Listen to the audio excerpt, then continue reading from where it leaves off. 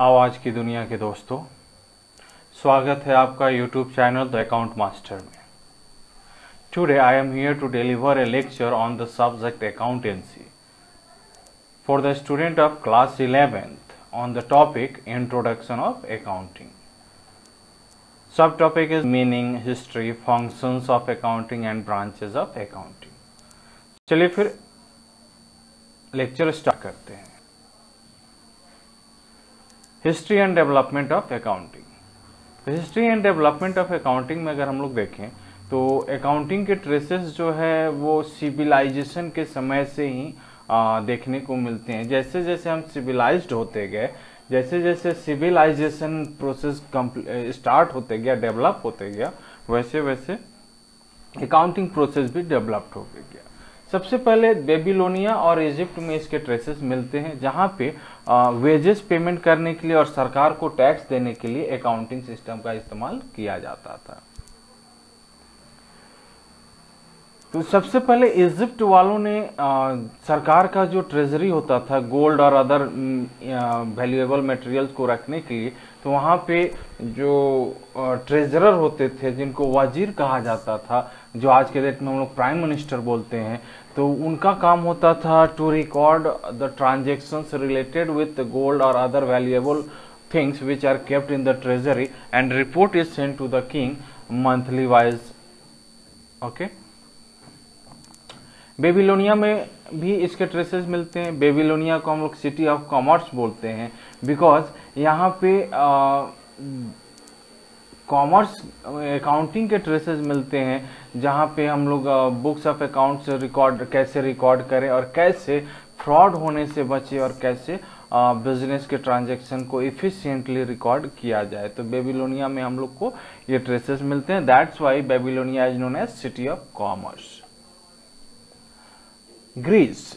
Greece एक ऐसा देश था, देश है जहाँ पे अकाउंटिंग के ट्रेजेस मिलते हैं और वहाँ पे अकाउंटिंग का इस्तेमाल किया जाता था ट्रेजरर के द्वारा, यानी कि सरकार के खजाने में कितना सामान आया और कितने पेमेंट किए गए और क्या बैलेंस बच गया है। गवर्नमेंट के फाइनेंशियल ट्रांजैक्शन का उसको रिकॉर्ड किया जाता था।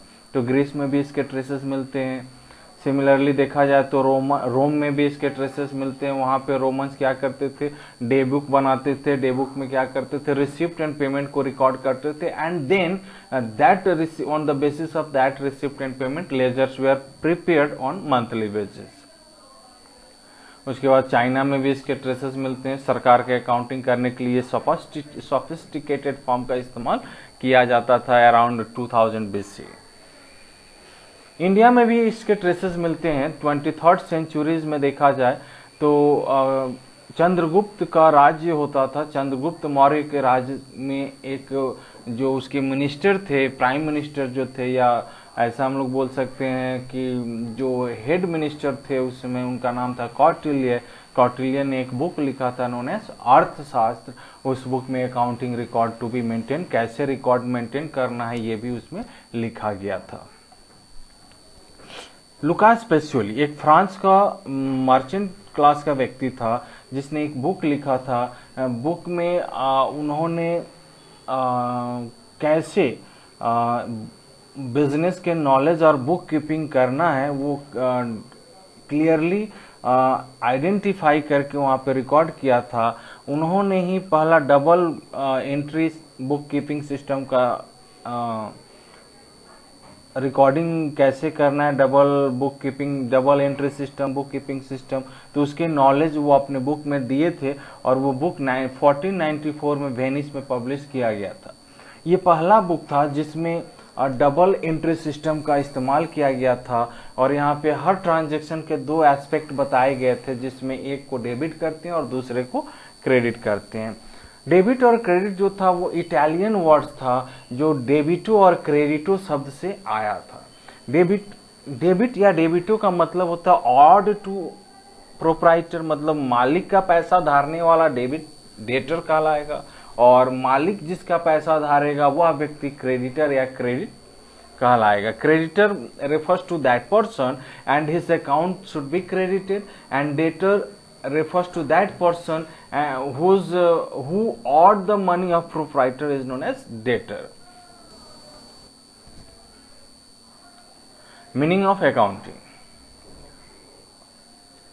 american institute of certified public accountant AICPA in 1941 accounting को define किया है accounting as the art of recording, classifying and summarizing in a significant manner and in terms of money transactions and events which are in part at least of financial character and interpreting the result thereof means uh, according to AICPA accounting का मतलब होता है accounting एक ऐसा कला है जहाँ पे हम रिकॉर्ड करते हैं क्लासिफाई करते हैं और समराइज करते हैं क्या चीज़ तो वैसे ट्रांजेक्शन और इवेंट जो फाइनेंशियल कैरेक्टर को होते हैं पैसे के टर्म में मापा जाए वैसे कैरेक्टर को रिकॉर्ड करना वैसे ट्रांजेक्शन्स को रिकॉर्ड करना क्लासिफाई करना समराइज करना और साथ में इंटरप्रेट भी करना। तो ये जो डेफिनेशन है वो समय के अनुसार चेंज होने के साथ साथ अभी भी अप्लाइड होता है and it becomes broader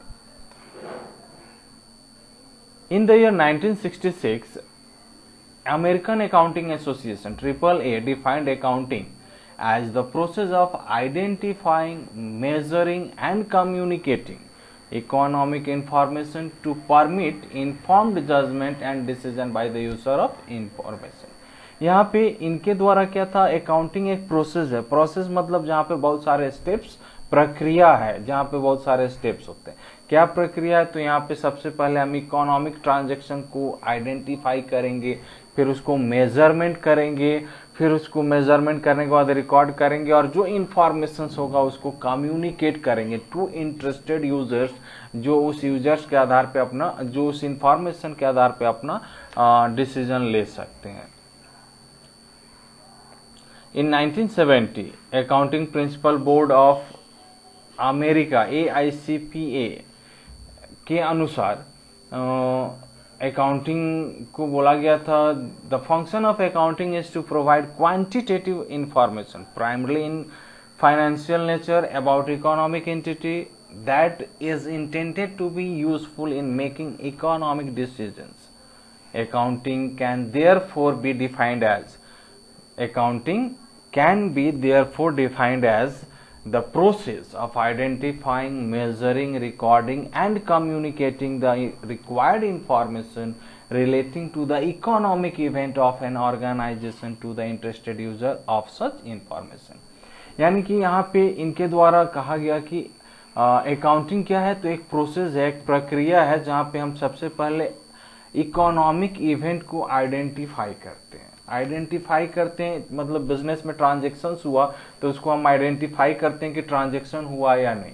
हुआ तो क्या वो इकोनॉमिक ट्रांजेक्शन है या नॉन इकोनॉमिक ट्रांजेक्शन अगर इकोनॉमिक ट्रांजेक्शन है तो उसको मेजर करेंगे। क्या वो पैसे में मापा जा सकता है? अगर वो पैसे में मापा जा सकता है तो उसको रिकॉर्ड करेंगे। रिकॉर्ड करने के बाद कम्युनिकेट करेंगे to the interested users of such information मतलब जिसको इस इंफॉर्मेशन का ज़रूरत है, उसको हम लोग ये कम्युनिकेट करेंगे। एबव डेफिनेशन को पढ़ने के बाद हम लोग को ये चार बातें चार कैरेक्टरिस्टिक्स बोल सकते हैं फोर कैरेक्टरिस्टिक्स आते हैं। इकोनॉमिक इवेंट होना ज़रूरी है। इकोनॉमिक इवेंट मतलब वैसा इवेंट जो इकोनॉमिक पैसे का लेन देन होना चाहिए। नॉन इकोनॉमिक इवेंट नहीं होना चाहिए। इकोनॉमिक और नॉन इकोनॉमिक के बारे में अगर जानना है तो आप इकोनॉमिक से रिलेटेड जो मेरे लेक्चर्स है, वहाँ पे जा सकते हैं। वहाँ पे आपको इकोनॉमिक्स और नॉन इकोनॉमिक एक्टिविटी या इवेंट के बारे में पता चल सकता है। तो इकोनॉमिक इवेंट होना चाहिए, पैसे से रिलेटेड होना चाहिए। दूसरा है आइडेंटिफाई कर सके, मापा जा सके रिकॉर्ड किया जा सके और कम्युनिकेट किया जा सके। थर्ड वन है ऑर्गेनाइजेशन का होना ज़रूरी है और फोर्थ है इंटरेस्टेड यूज़र्स होने चाहिए इस इंफॉर्मेशन के।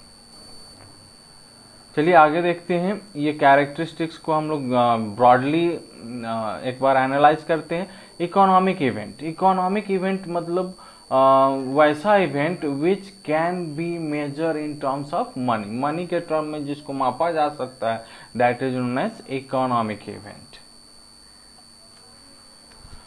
identification measurement recording and communication तो आइडेंटिफिकेशन आइडेंटिफिकेशन मतलब होता है विच कैन बी आइडेंटिफाइड कौन सा रिकॉर्ड करना है, कौन सा नहीं रिकॉर्ड करना है, इसके लिए हमको आइडेंटिफाई करना ज़रूरी है। तो आइडेंटिफाई क्या करेंगे कि एक्टिविटी हुआ या नहीं? एक्टिविटी हुआ तो उसमें इकोनॉमिक नेचर का है या नॉन इकोनॉमिक नेचर का जो इकोनॉमिक नेचर का है, उसी को आइडेंटिफाई करना है, जो नॉन इकोनॉमिक है, उसको आइडेंटिफाई करके छोड़ देना है। मेज़रमेंट करेंगे means whether that economic activity can be measured in terms of monetary unit और नॉट मतलब उसको पैसे में मापा जा सकता है कि नहीं? पैसे में मापा जाना मतलब एग्जैक्ट अमाउंट में मापा जाना, जैसे हज़ारों का सामान खरीदे तो that is not measure in terms of exact figure एक हज़ार का सामान खरीदे दैट इज़ मेज़रमेंट की एक हज़ार रुपये का मेज़रमेंट किया गया। वन है रिकॉर्डिंग तो वैसा ट्रांजेक्शन जो मापा जा सकता है जिसको आ, माप सकते हैं उसको हम क्या करेंगे? रिकॉर्ड करेंगे। तो रिकॉर्ड करेंगे। वैसे इवेंट को जो आइडेंटिफाई हो गया कि ये मॉनेटरी इकोनॉमिक ट्रांजेक्शन है और वो मेजर भी हो गया in terms of money then that transaction is recorded in the books of account in chronological order सिलसिलेवार तरीके से इसको रिकॉर्ड करेंगे। नेक्स्ट था कम्युनिकेशन जब हम रिकॉर्ड कर लेंगे तो जैसे इकोनॉमिक इवेंट को सबसे पहले आइडेंटिफाई किए, फिर मेजर किए, फिर रिकॉर्ड किए और रिकॉर्ड करने के बाद जो इन्फॉर्मेशन था, उस इन्फॉर्मेशन को मैनेजमेंट और other internal and external users को कम्युनिकेट कर देंगे। इससे जो इन यूज़र्स हैं, वो अपना डिसीज़न ले सकते हैं डिसीज़न राइट समय पे लेंगे और उससे उनको बेनिफिट्स मिल सकता है। तो that is the main purpose of communication organization. Organization means business enterprises. Business enterprises means वैसा एंटरप्राइजेस जो प्रॉफिट कमाने के ऑब्जेक्टिव से बनाया गया that is known as business organization तो बिज़नेस ऑर्गेनाइजेशन का साइज़ छोटा हो सकता है, बड़ा हो सकता है। ऑनरशिप के आधार पर देखें तो सोल प्रोप्राइटर हो सकता है पार्टनरशिप हो सकता है कोऑपरेटिव सोसाइटी हो सकता है कंपनी हो सकता है म्यूनिसिपल कॉरपोरेशन हो सकता है। Any other type of association of person हो सकता है।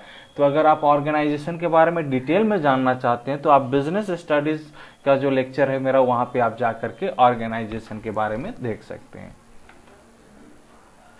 इंटरेस्टेड यूज़र्स ऑफ़ इंफॉर्मेशन तो इंफॉर्मेशन जो है वो इंटरेस्टेड यूज़र्स को दिया जाएगा। इंटरेस्टेड यूज़र्स कौन होंगे? तो there are two type of users one is internal users and other one is external users internal users means management हो गया वर्कर्स हो गए ऑनर हो गए।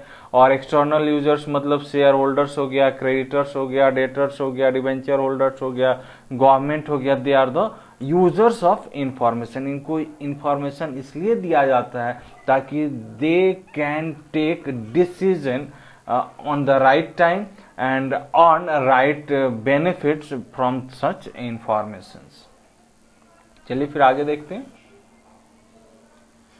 Why do the user want accounting information users को अकाउंटिंग इंफॉर्मेशन की क्यों आवश्यकता है? तो सबसे पहले कि जो मालिक होते हैं, वो देखना चाहते हैं कि बिज़नेस में जो हम पैसा लगाए हैं शेयर्स में जो पैसा लगाए हैं, उस पर सेटिस्फैक्ट्री रिटर्न मिल रहा है या नहीं मिल रहा है? ये जानने के लिए वो यू इंफॉर्मेशन को चाहिए होता है। साथ में वो ये भी देखना चाहते हैं कि बिज़नेस का फाइनेंशियल हेल्थ कैसा है। वो फाइनेंशियल साउंड साउंड है या नहीं है, ये जानने के लिए ऑनर शेयर होल्डर्स इंफॉर्मेशन देखते हैं। दूसरा व्यक्ति है डायरेक्टर या मैनेजर जो बिज़नेस को चलाते हैं, उनको इसलिए इंफॉर्मेशन चाहिए होता है कि वो कंपेयर कर सकें अपने बिज़नेस के इंटरनल और एक्सटर्नल मीन्स स्ट्रेंथ और वीकनेस को और अपॉर्चुनिटी एंड थ्रेट को वो कंपेयर कर सकें, ताकि वो बिज़नेस को स्मूथफुली रन कर सकें। क्रेडिटर क्रेडिटर मतलब वह व्यक्ति जो बिज़नेस को लोन दिया है, पैसा दिया है, उधार में सामान सप्लाई किया है तो वैसा व्यक्ति को इन्फॉर्मेशन इसलिए चाहिए होता है ताकि वो बिज़नेस की लिक्विडिटी को पता कर सके कि बिज़नेस उसके पैसे को वापस करने में सक्षम है कि नहीं? जब बिज़नेस प्रॉमिस किया है कि आपका पैसा हम एक महीने के बाद वापस कर देंगे तो क्या बिज़नेस एक महीने के बाद पैसा वापस करने का एबिलिटी रखता है या नहीं? ये देखने के लिए क्रेडिटर को इन्फॉर्मेशन चाहिए। इन्वेस्टर्स को क्यों चाहिए? तो इन्वेस्टर्स को इसलिए चाहिए कि इस कंपनी में, इस बिज़नेस ऑर्गेनाइजेशन में पैसा इन्वेस्ट करें या नहीं करें, ये जानने के लिए उनको ये इन्फॉर्मेशन चाहिए। गवर्नमेंट और रेगुलेटरी इंफॉर्मेशन एजेंसीज को भी इंफॉर्मेशन चाहिए होता है। क्यों चाहिए होता है? ताकि वो जान सके कि कंपनी जो टैक्स पे कर रही है बिज़नेस ऑर्गेनाइजेशन जो टैक्स पे कर रहा है, वो सही सही टैक्स पे कर रहा है कि नहीं, उसका वो कैलकुलेशन करके मैच करा सके कि बिज़नेस ऑर्गेनाइजेशन सही टैक्स पे किया है या नहीं किया है। Accounting as a source of information modern time में देखा जाए तो accounting is a source of information means हम अकाउंटिंग इसलिए करते हैं ताकि इंफॉर्मेशन जनरेट कर सके। और इस इंफॉर्मेशन के आधार पे जो यूज़र्स है वो अपना इंपॉर्टेंट डिसीज़न ले सके।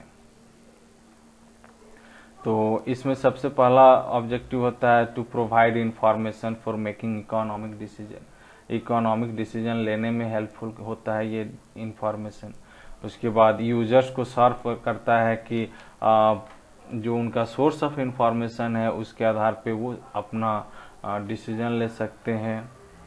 Provide information useful for predicting and evaluating the amount timing and uncertainty of potential cash flow means वो अनुमान लगा सकते हैं इवेलुएट कर सकते हैं कि बिज़नेस का कैश फ्लो कैसा होगा। Provide information for judgement judging management ability to utilize resource effectively in meeting goals. Management का जजमेंट को वो चेक करने के लिए भी इंफॉर्मेशन का इस्तेमाल करते हैं कि क्या वो रिसोर्सेज का सही इस्तेमाल कर रहा है कि नहीं कर रहा है।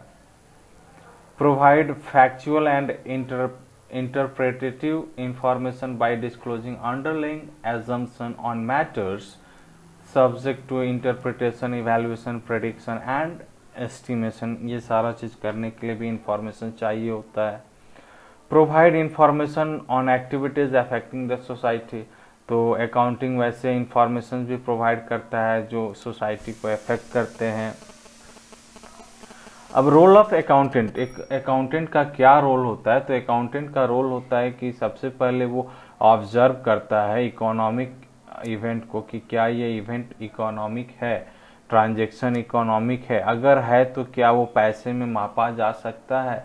अगर मापा जा सकता है तो वो उसको रिकॉर्ड करता है और रिकॉर्ड करने के बाद उससे रिलेटेड जो अकाउंटिंग इंफॉर्मेशन होते हैं, उसको कम्युनिकेट करता है to the users to the interested users तो this is the main role played by an accounting तो अकाउंटिंग में जो अकाउंटेंट होते हैं, वो नॉर्मली देखा जाए तो financial costing and management accounting तीन तरह के एक्टिविटीज़ को परफॉर्म करते हैं। इसीलिए अकाउंटिंग के तीन ब्रांचेज होते हैं namely financial accounting cost accounting and management accounting चलिए फिर आगे देखते हैं। रोल ऑफ़ अकाउंटिंग अकाउंटिंग का क्या रोल है? तो अकाउंटिंग का रोल है कि इकोनॉमिक डेवलपमेंट और increasing societal demand economic development करना धीरे धीरे जैसे जैसे हम लोग डेवलप होते गए इकोनॉमी में इकोनॉमिक डेवलपमेंट डिपेंड होने लगा अकाउंटिंग पे। क्योंकि अकाउंटिंग में हम लोग क्या करते हैं? ट्रांजेक्शन को क्रोनोलॉजिकल ऑर्डर में रिकॉर्ड करते हैं और on the basis of such record recording हम क्या करते हैं इंफॉर्मेशन को एनालाइज और इंटरप्रेट करते हैं। On the basis of such analysis and interpretation organization क्या ऑर्गेनाइजेशन के जो इंटरेस्टेड यूज़र्स होते हैं, वो अपना यूजफुल डिसीजंस ले पाते हैं। ब्रांचेस ऑफ़ अकाउंटिंग अभी जैसे हम लोग बात किए कि there are three branches of accounting such as financial accounting financial accounting management accounting और कॉस्ट अकाउंटिंग तो फाइनेंशियल अकाउंटिंग में हम लोग फाइनेंशियल ट्रांजेक्शन्स को रिकॉर्ड करते हैं। इसमें हम क्या करते हैं कि प्रॉफिट एंड लॉस जो बिज़नेस अर्न किया ड्यूरिंग द अकाउंटिंग पीरियड उसको पता करते हैं। उसके बाद फाइनेंशियल पोजीशन बिज़नेस का क्या है, एक फाइनेंशियल ईयर खत्म होने के बाद उसको पता करते हैं। और फाइनेंशियल इंफॉर्मेशन जो होता है, वो हम इंटरेस्टेड पार्टीज़ को प्रोवाइड करते हैं ताकि वो अपना डिसीज़न ले सकें। कॉस्ट अकाउंटिंग कॉस्ट अकाउंटिंग का मेन पर्पस होता है टू कैलकुलेट कॉस्ट किसी भी वस्तु को बनाने में ऑर्गेनाइजेशन का कुछ खर्च होता है और उस खर्च के बाद उस ऑर्गेनाइजेशन उस पे कितना पैसा खर्च किया वो कैलकुलेट करता है। जब हमको कॉस्ट प्राइस पता चल जाता है तो हमको कितना प्रॉफिट चाहिए उसको ऐड कर देते हैं तो प्राइस ऑफ़ द प्रोडक्ट हो जाता है। तो कॉस्ट अकाउंटिंग का मेन ऑब्जेक्टिव होता है to calculate the cost so that organization can fix price of the commodity management accounting क्या होता है? तो मैनेजमेंट अकाउंटिंग मैनेजमेंट और अकाउंटेंट के बीच में एक ब्रिज का काम करता है।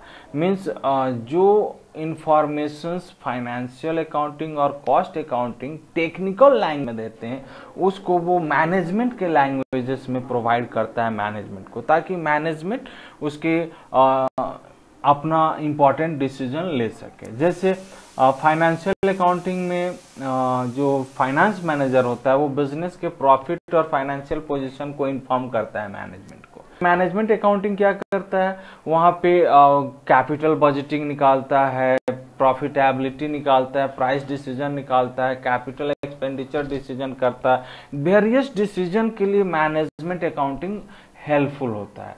तो that's why management accounting is important for the business organization चलिए फिर आगे देख qualitative characteristics of accounting information qualitative characteristics of accounting information तो क्वालिटेटिव कैरेक्टरिस्टिक देखा जाए तो चार तरह के क्वालिटेटिव कैरेक्टरिस्टिक्स होते हैं। That is reliability relevancy understandability and comparability तो इनका मीनिंग जानते हैं एक एक करके। रिलायबिलिटी मतलब विश्वास होना। मतलब एनी बडी या users can depend on such information मतलब इंफॉर्मेशन ऐसा होना चाहिए कि कोई भी व्यक्ति, कोई भी यूज़र्स उस पर भरोसा कर सके कि जो इंफॉर्मेशन दिया गया है वो सही है। तो इंफॉर्मेशन सही हो, यानी कि वो किसी से भी वेरीफाई करे तो इंफॉर्मेशन में कोई भी चेंजेस नहीं आए दैट इज़ रिलायबिलिटी दूसरा है रेलिवेंसी रेलिवेंसी मतलब होता है कि if information are given in time then relevancy of such information can be use means relevant कोई भी चीज़ रेलिवेंट तभी होगा जब वो सही समय पे अवेलेबल होगा. Otherwise its relevancy is not necessary तो रेलिवेंसी तब होगा जब हम uh, उस इंफॉर्मेशन के आधार पे फ्यूचर प्रेजेंट और पास्ट को प्रिडिक्ट कर सके और कंफर्म कर सके कि इसके आधार पे जो पास्ट इवेल्युएशन था वो सही था। अंडरस्टैंडेबिलिटी जो इंफॉर्मेशन हम प्रोवाइड कर रहे हैं यूज़र्स को वो समझने लायक होना चाहिए। समझने लायक होना चाहिए मतलब आ, उसको समझ करके लोग डिसीज़न ले सके। ऐसा ना है कि उस इंफॉर्मेशन को फिर समझने के लिए किसी और के पास जाना हो।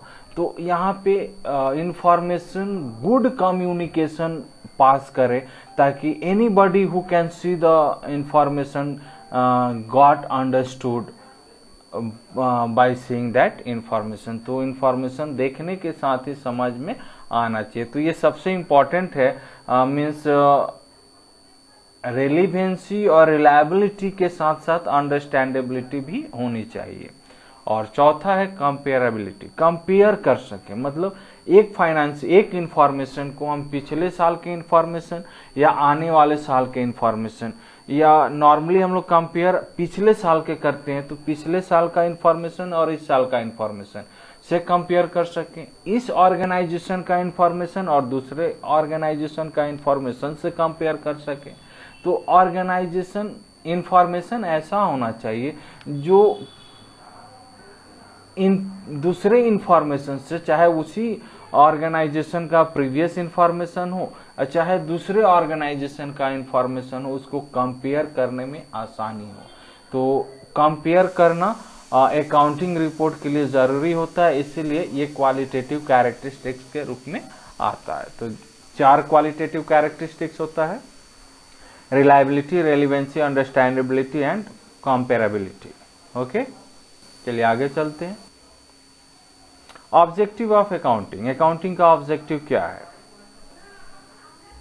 तो अकाउंटिंग का ऑब्जेक्टिव देखा जाए तो basically following are the objective पहला maintenance of records of business transaction business transaction जो होते हैं उसमें जैसे हम लोग देखें बिज़नेस ट्रांजेक्शन जो होगा, उसको सबसे पहले आइडेंटिफाई करेंगे कि क्या वो इकोनॉमिक नेचर का है या नहीं है।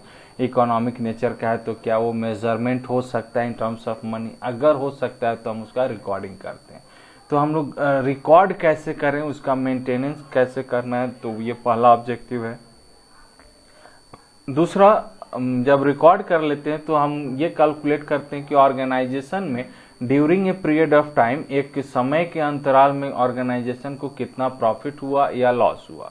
प्रॉफिट मतलब होता है जितना आमदनी है और जितना खर्चा है। डिफरेंस अगर आमदनी ज़्यादा है, खर्चा कम है तो प्रॉफिट होगा और अपोजिट होगा तो लॉस होगा। उसके बाद हम लोग फाइनेंशियल पोजीशन का पता लगाते हैं कि आज के डेट में बिज़नेस के पास कितना एसेट्स है और कितना लाइबिलिटीज है। तो ये ऑब्जेक्टिव है अकाउंटिंग का। और इस इंफॉर्मेशन को यूज़र्स को प्रोवाइड करते हैं। तो ये लास्ट ऑब्जेक्टिव है अकाउंटिंग का। तो सबसे पहले हम लोग रिकॉर्ड मेंटेन करते हैं, उसके बाद प्रॉफिट लॉस कैलकुलेट करते हैं, उसके बाद बिज़नेस का फाइनेंशियल पोजीशन कैलकुलेट करते हैं और उसके बाद इस इंफॉर्मेशन को इंटरेस्टेड पार्टी को ट्रांसफ़र कर देते हैं एंड दे प्रोवाइड करते हैं ताकि वो अपना डिसीजंस ले सकें। यूज़र्स इंटरनल यूज़र्स यूज़र्स दो प्रकार के होते हैं इंटरनल एंड एक्सटर्नल यूज़र्स तो इंटरनल यूज़र्स को देखते हैं। इंटरनल यूज़र्स होता है इन्वेस्टर जो मालिक है ऑर्गेनाइजेशन का तो मालिक को क्यों चाहिए? मालिक को इसलिए चाहिए कि वो डिसीज़न ले सके कि बिज़नेस में पैसा लगाना है, बेचना है, खरीदना है, उसके लिए, और उसका जो पैसा लगा हुआ है, उस पर उसको इंटरेस्ट या डिविडेंड कितना मिलने वाला है। मैनेजमेंट मैनेजमेंट को क्यों चाहिए? ताकि वो प्लान कर सके डिसीज़न ले सके बिज़नेस को स्मूथफुल रन करने के लिए। साथ में वो एनालिसिस कर सके कि बिज़नेस का जो एनुअल रिपोर्ट पब्लिश होना है, उस पर बिज़नेस का फाइनेंशियल स्टेटमेंट जो है वो कैसा है। और साथ में on the basis of segmentation वो इंफॉर्मेशन प्रोवाइड कर सके on the basis of geographical location और द प्रोडक्टिव थर्ड वन है एम्प्लॉय एंड देयर रिप्रेजेंटेटिव मतलब यूनियन यूनियन एम्प्लॉय यूनियन जो होता है लेबर यूनियन तो उनको क्यों चाहिए? तो वो ये इसलिए कि उनको ये पता चल सके कि एम्प्लॉयर जो है वो सस्टेन कर रहा है कि नहीं, वो प्रॉफिट कमा रहा है कि नहीं.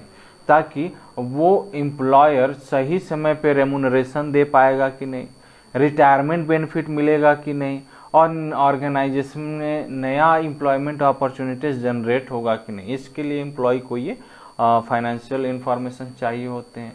साथ में उनको ये इसलिए भी चाहता है कि वो कलेक्टिव बार्गेनिंग कर सके to pay deals terms and condition of work etcetera external users देखते हैं। एक्सटर्नल यूज़र्स में सबसे पहले आता है प्रोस्पेक्टिव इन्वेस्टर्स मालिक ऑनर तो एक इन्वेस्टर है ही वैसे इन्वेस्टर्स जो अदर देन ऑनर है मीन्स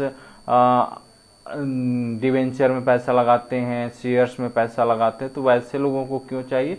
ताकि उनको पता चल सके कि रिस्क और रिटर्न क्या है, कितना रिस्क है इस ऑर्गेनाइजेशन में पैसा लगाने पे। उसके आधार पे वो अपना डिसीज़न ले सकते हैं।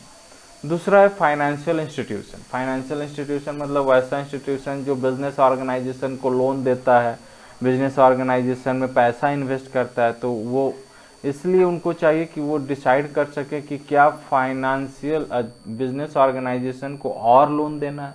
क्या वो लोन सही समय पे चुका पाएगा या नहीं चुका चुका पाएगा, ये जानने के लिए उनको फाइनेंशियल इंफॉर्मेशन चाहिए होता है। सप्लायर सप्लायर मतलब जो गुड्स बिज़नेस को उधार में सप्लाई करते हैं। तो वो इसलिए फाइनेंशियल इंफॉर्मेशन चाहते हैं कि उनका पैसा जो उधार में कंपनी या बिज़नेस को दे चुके हैं वो सही समय पे वापस होगा कि नहीं होगा? तो ये जानने के लिए वो सप्लायर को फाइनेंशियल इन्फॉर्मेशन चाहिए होता है। कस्टमर कस्टमर को इसलिए इन्फॉर्मेशन चाहिए होता है कि वो जान सके कि कंपनी जिस कंपनी का हम प्रोडक्ट ले रहे हैं वो कंपनी फ्यूचर में गुड्स सप्लाई करेगा या नहीं करेगा? इसमें आ, इस गुड्स को खरीद रहे हैं तो उस पर डिपेंडेंसी मेरा कितना रहेगा ये जानने के लिए कंज्यूमर्स को फाइनेंशियल इन्फॉर्मेशन चाहिए होगा। गवर्नमेंट गवर्नमेंट को क्यों चाहिए? तो गवर्नमेंट ये पता कर सके कि ऑर्गेनाइजेशन जो टैक्सेस पे कर रहा है, वो सही टैक्स है या नहीं। ऑर्गेनाइजेशन कितना रिसोर्सेज होल्ड करता है और कितना प्रॉफिट अर्न किया है, ये कैलकुलेट करने के लिए और कितना वो नेशनल इनकम में कंट्रीब्यूट कर रहा है, ये जानने के लिए भी सरकार को फाइनेंशियल इंफॉर्मेशन चाहिए होती है। आम आदमी पब्लिक मीडिया को क्यों चाहिए? तो पब्लिक मीडिया को इसलिए चाहिए कि वो पता कर सके कि ये ऑर्गेनाइजेशन लोकल इकोनॉमी में क्या कंट्रीब्यूट कर रहा है मींस कॉरपोरेट सोशल रिस्पॉन्सिबिलिटी क्या कर रहा है? और इसके प्रोडक्ट में रेंजेस जो है प्रॉस्पेरिटी रेंजेस जो है, आने वाले समय में क्या डेवलपमेंट हो गई ये जानने के लिए भी फाइनेंशियल इंफॉर्मेशन चाहिए होगा। और इन्वायरमेंटल ग्रुप उनको इसलिए भी चाहिए होगा कि फाइनेंशियल इंफॉर्मेशन की वो देख पाए कि बिज़नेस इन्वायरमेंट को ग्रीन रखने के लिए क्या कर रहा है। मीन्स कितने पोर्शन ऑफ़ द प्रॉफिट वो इन्वायरमेंट के ऊपर में खर्च कर रहा है। वो कौन सा एसेट्स या कौन सा टेक्निक्स प्रोडक्शन का इस्तेमाल कर रहा है जिससे इन्वायरमेंट कम इन्वायरमेंट की क्वालिटी कम डिग्रेड हो, कम पॉल्यूटेड हो। तो ये जानने के लिए भी उनको फाइनेंशियल इन्फॉर्मेशन चाहिए होती है। तो कुछ क्वेश्चन आंसर है, इसको देखते हैं। Complete the following sentence with the appropriate word पहला information in a financial report is based on आप सोचिए आंसर हम आपको बाद में देंगे।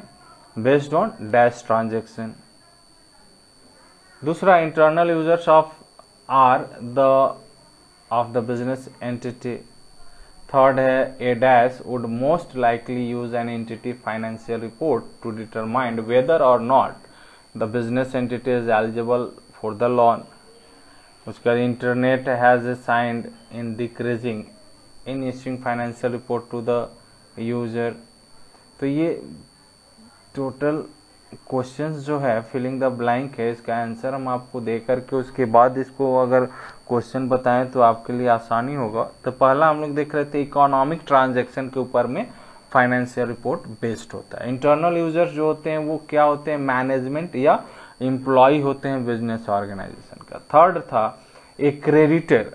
क्रेडिटर वैसा व्यक्ति होता है जो बिज़नेस के बाहर होता है और वो एलिजिबल फॉर बिज़नेस, एलिजिबल है कि नहीं, उधार लेने के लिए या लोन लेने के लिए, इसके लिए।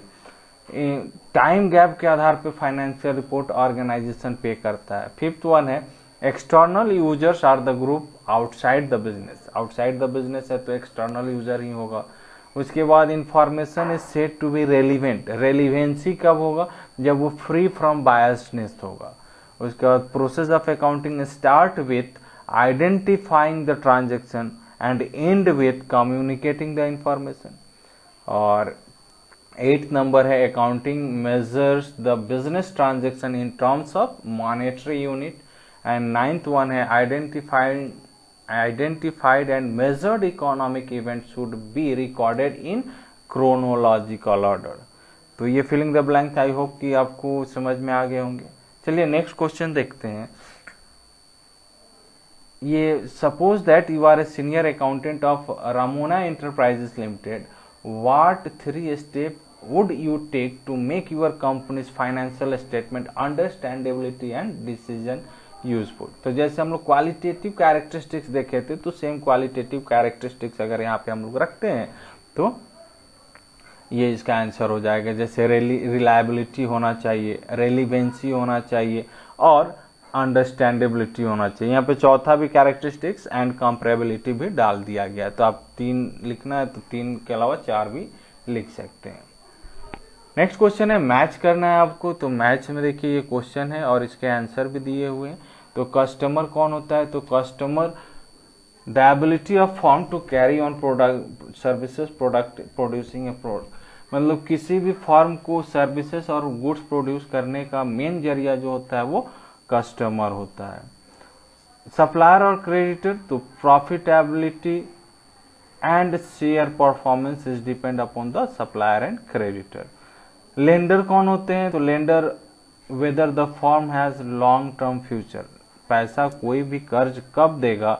जब वो लॉन्ग टर्म फ्यूचर होगा फाइनेंशियल इंफॉर्मेशन के आधार पर तभी देगा। तो हम लोग यहाँ पे देख रहे हैं कि फाइनेंशियल इंफॉर्मेशन में किसका क्या इंटरेस्ट होता है। सोशल रिस्पॉन्सिबिलिटी ग्रुप क्या इंटरेस्ट होता है? तो सोशल रिस्पॉन्सिबिलिटी ग्रुप का होता है कि जो फॉर्म है वो एथिकल और इन्वायरमेंटल एक्टिविटीज़ कर रहा है कि नहीं कर रहा है। मैनेजमेंट का क्या योगदान हो मैनेजमेंट को क्यों चाहिए? इंफॉर्मेशन फाइनेंशियल इंफॉर्मेशन तो आ, वो जान सके कि पोटेंशियल फॉर पे अवार्ड और बोनस डील मीन्स लोगों का सैलरी समय पे दे पाएगा कि नहीं बोनस देना है कि नहीं देना है। गवर्नमेंट और अदर रेगुलेटर्स को क्यों चाहिए फाइनेंशियल इंफॉर्मेशन तो गवर्नमेंट को इसलिए चाहिए कि वैट और अदर टैक्स लाइबिलिटी फॉर्म का कितना है ये जान सके। तो ये था आपका क्वेश्चन और एक क्वेश्चन देखते हैं। करेक्ट आंसर को टिक करना है। तो इसके आंसर के साथ क्वेश्चन अगर बताए तो आपको समझ में जल्दी आ जाएगा। चार क्वेश्चन है। और इसके आंसर पहला है which of the following is not a business transaction business transaction कौन सा नहीं है? तो फ़र्स्ट का C paid son's fee from his personal bank अपने बैंक अकाउंट से अगर अपने बच्चे का फ़ी देता है तो ये बिज़नेस ट्रांजेक्शन नहीं होगा, ठीक है? उसके बाद Deepti wants to buy a building for his business which of the following is relevant data for his decision तो building cost detail of 2020 building का जो दाम है 2020 में, वही बिल्डिंग, उसके लिए रेलिवेंट डाटा होगा। अब 2003 में क्या दाम था 2000 में क्या दाम है, उसी तरह का बिल्डिंग अगस्त 2005 में क्या दाम था तो वो उसके लिए इरेलीवेंट इंफॉर्मेशन है। 2020 में उस बिल्डिंग का क्या दाम है that is the relevant information उसके बाद है third question which is the last step of accounting process last step क्या है? कम्युनिकेटिंग द इंफॉर्मेशन तो C communicating the information fourth one क्या है? क्वालिटेटिव कैरेक्टरिस्टिक्स क्या है? तो qualitative characteristics related with clearly present ऐसे तो चारों क्वालिटेटिव कैरेक्टरिस्टिक्स है. अंडरस्टैंडेबिलिटी रिलेवेंसी कंपेरेबिलिटी रिलायबिलिटी लेकिन यहाँ पे क्वेश्चन है कि अकाउंटिंग इन्फॉर्मेशन क्लियर प्रेजेंट हो. तो क्लियर प्रेजेंट होगा तो समझ में आएगा. मतलब अंडरस्टैंडेबिलिटी समझ में आना चाहिए। आप लिख रहे हैं, आपका राइटिंग अच्छा नहीं है काट छाट कर रहे हैं ओवर राइटिंग कर रहे हैं तो that is not the qualitative characteristics को फेवर करते हैं। क्वालिटेटिव कैरेक्टरिस्टिक अंडरस्टैंडेबिलिटी होगा मतलब साफ़ सुथरा लिखा हुआ होगा। पांचवा है use of common unit of measurement and common format of reporting promotes compare करने में आसानी होगा। अगर एक ही यूनिट जैसे एक्स कंपनी भी पैसे रुपया में कर रहा है वाई कंपनी भी रुपया में कर रहा है तो कंपेयर करने में आसानी होगी। अगर एक्स कंपनी रुपीज़ में कर रहा है वाई कंपनी डॉलर में कर रहा है तो कंपेयर करने में थोड़ा प्रॉब्लम हो सकता है। तो answer is a comparability okay I hope hope this lecture is helpful for uh, the commerce students uh, those who wish to know the basic of accounting thank you be happy and make someone happy. Have a great day